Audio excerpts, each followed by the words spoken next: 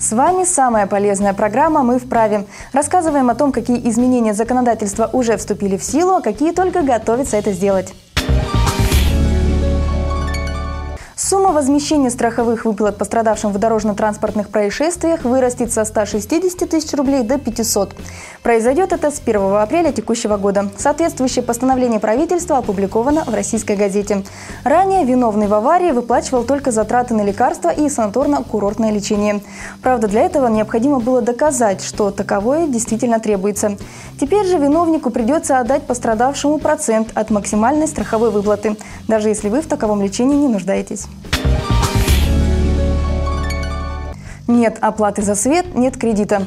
Закон о кредитных историях пополнился соответствующими пунктами. С 1 марта банки смогут отказывать в займе должникам по квартплате, а также тем, кто не оплатил штрафы. Неоплаченная парковка, свет или отопление, долги по алиментам – все это попадет в кредитную историю гражданина.